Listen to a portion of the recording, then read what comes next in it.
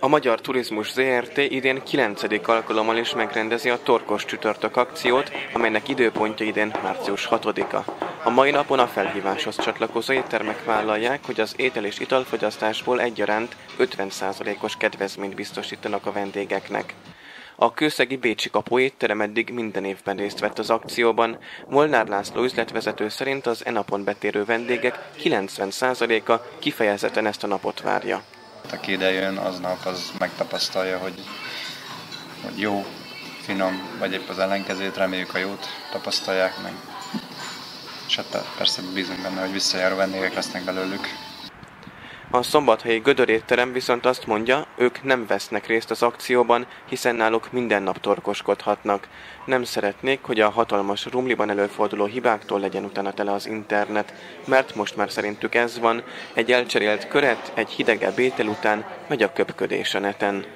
Én azt gondolom, hogy aki figyelemmel kíséri azt, hogy orkos csütörtök van, az már korábban is lehet, hogy étterembe járó volt, és ezt a szokását meg fogja tartani később is. Hát nem veszünk részt, igazán részt szoktunk venni, de most ugye hát itt a picuri is, hát így elég nehéz nekünk így eljutni így étterembe.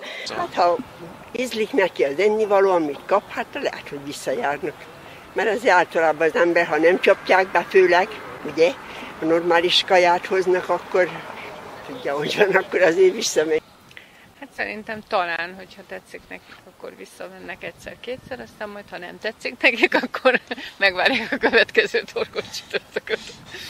Abban mindkét étterem egyetértett, hogy plusz forgalmat csütörtök után nem lehet érezni, viszont míg az egyik étterem az általános minőséget tartja szem előtt, a másik megkérdezett, mindez mellett megpróbálja az étterem hírnevét is továbbítani az esemény alkalmából.